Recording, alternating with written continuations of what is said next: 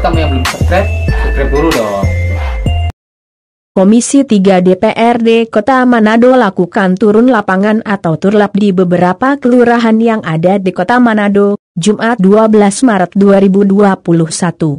Turlap tersebut dipimpin langsung oleh Ketua Komisi 3 DPRD Kota Manado Roni Makawata. Kelurahan yang dikunjungi adalah Lawangirung dan Taas.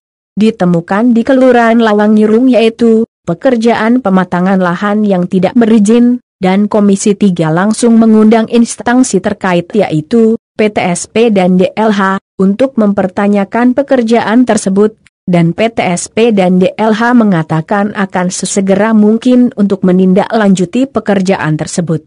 Sedangkan di Kelurahan Taas Lingkungan 3 terdapat drainase besar yang sudah tertutup seluruh salurannya sehingga materialnya sudah melewati badan jalan dan anggota DPRD Kota Manado Komisi 3 langsung menghubungi Dinas PUPR Kota Manado untuk mencarikan solusi secepatnya, dikarenakan masyarakat mengeluh jika ke rumah ibadah tidak bisa melewati jalan tersebut.